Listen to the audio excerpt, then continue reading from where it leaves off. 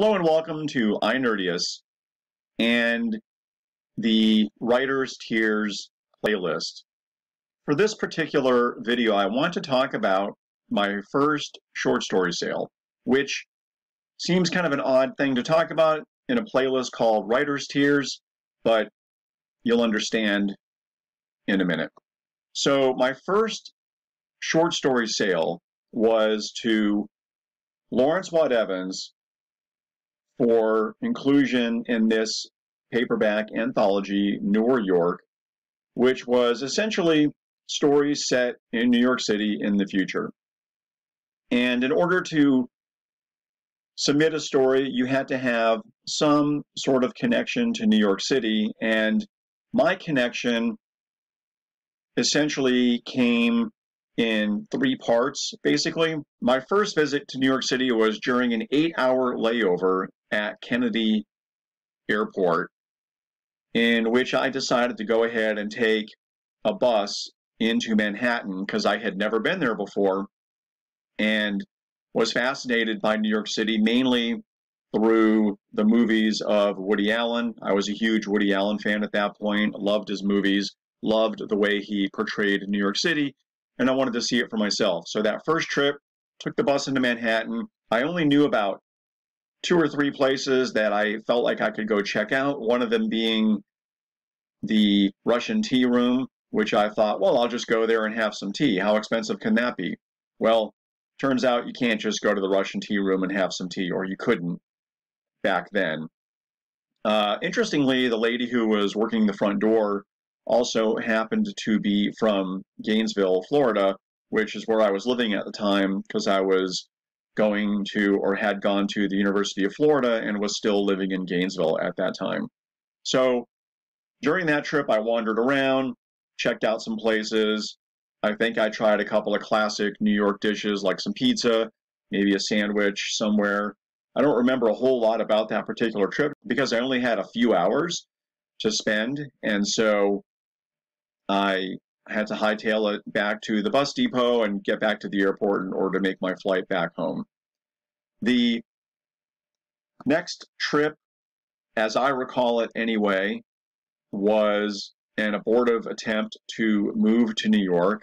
I had applied to and gotten accepted by a small college on Staten Island called Wagner College and actually moved there, taking the Greyhound bus directly from the World Science Fiction Convention in New Orleans, where I had essentially brought everything I owned that I was taking with me that I hadn't put into storage and stored in my friend's car while we hung out at the convention without rooms, I might add.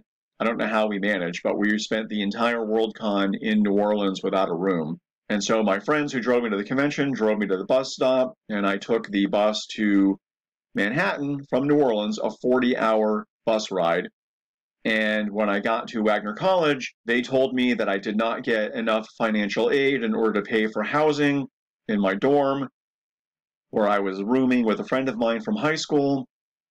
And so, at least as I understood it, I was racking up debt by staying there, and I decided to go ahead and pull the plug on that and my friend Charles Pinion picked me up, took me to the bus station, and I took the bus back down to Gainesville from Manhattan.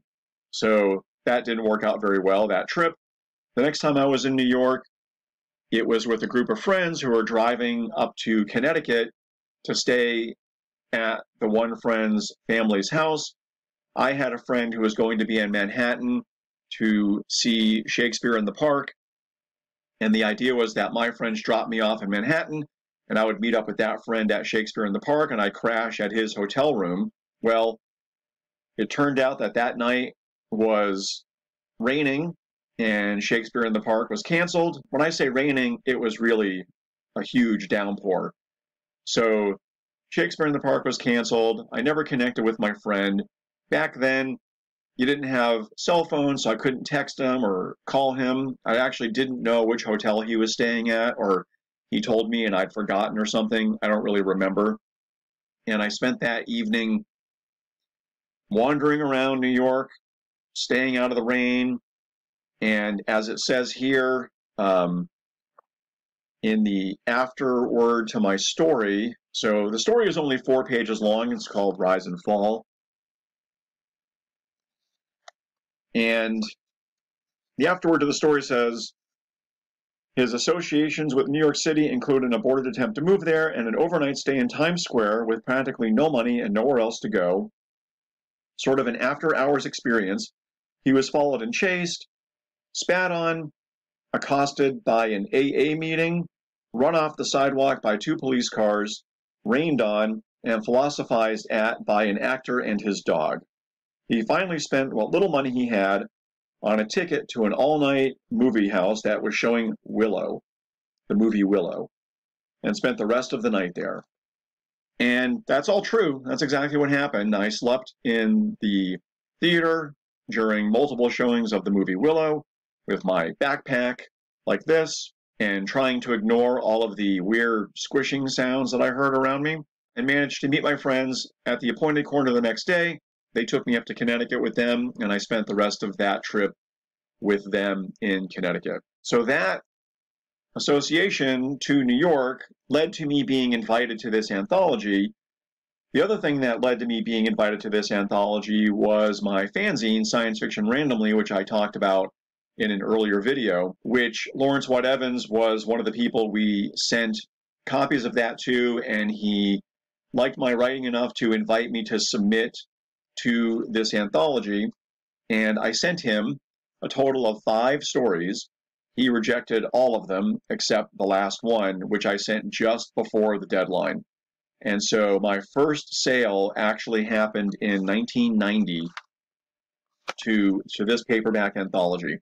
Some of the other authors in this anthology include Piers Anthony, who wrote a story called Cloister, which is set in the cloisters in Manhattan, which I've been to. Very nice, really pretty area.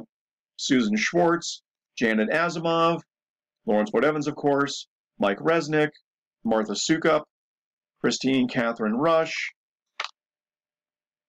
Michael Stackpole, John Shirley. It's a good book to be part of, I think. Now, the reason this is part of Writer's Tears is that when this book was reviewed, and I don't remember which review it was or where it was. I want to say it was in either the Science Fiction Chronicle or Locus. The review singled out my story as being embarrassingly bad. Now, this wasn't my first review ever. I had stories that were published in fanzines reviewed and all getting really glowing reviews. So I'm not saying that this was my first review ever, but this was the first review of something I had sold professionally. And for it to be called embarrassingly bad, yeah, it was a disappointment, but quite honestly, didn't really affect me as much as I thought it would. I wasn't expecting a a bad review of my story in particular. I mean, I sold the story, so obviously somebody liked it, and other people have told me they like it as well. So I don't think it's necessarily a terrible story, but you would think that your first professional sale, that a negative review would be a bit devastating. Weirdly, it didn't have that effect on me.